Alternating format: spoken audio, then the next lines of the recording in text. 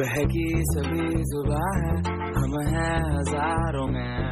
अब की कमी जरा है, हर चीज़ खास है।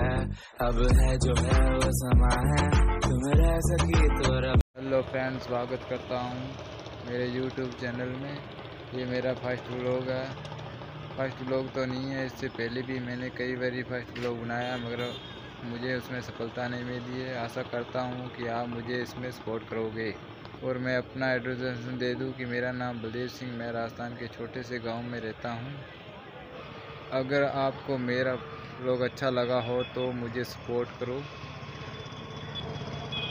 और चैनल को सब्सक्राइब करो शेयर करो लाइक करो। थैंक यू मिलते हैं नेक्स्ट ब्लॉग